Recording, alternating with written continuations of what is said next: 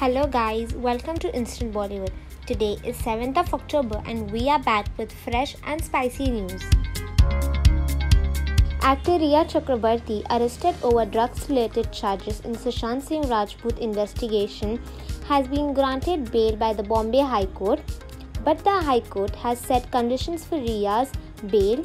First, she has to deposit her passport. Second, she has to report daily 10 days to Mumbai police. She has to furnish bail bond rupees 1 lakh rupees. In addition to these conditions, she cannot leave the country and cannot meet any other witness. Actor Ajay Devgan's brother Anil Devgan died on 6 October. The actor took to Twitter to announce Anil's demise and said that the family was left heartbroken. Actor Kareena Kapoor Khan shared a picture of Taimur Ali Khan and his Spanish teacher at Pataudi Palace on her Instagram stories.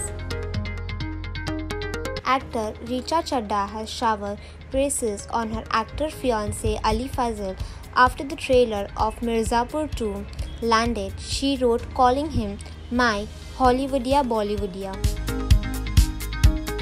Television actor Niti Taylor announced that she has tied the knot with longtime boyfriend and Indian Army officer Parikshit Bawa. The wedding happened on August 13 in Gurgaon with only close friends and family.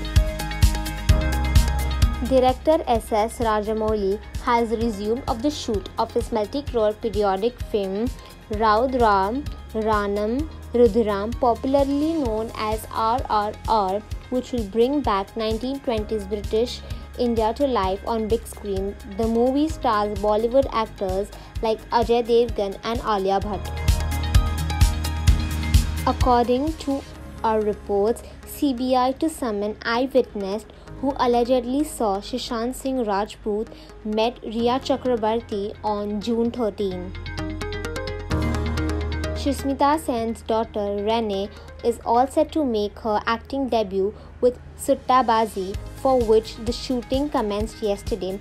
Suttabazi is set in a lockdown period and focuses on mother and daughter who are at odds with one another in a conservative household.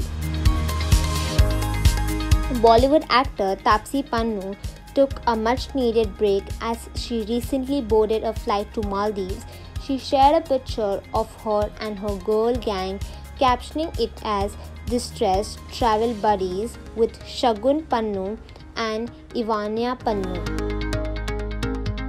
According to our sources, actor Ali Fazal will now take the lead in upcoming war drama tentatively titled code name Johnny Walker. The film is based on the New York Times bestseller by the same name. Let us know your views in the comments down below.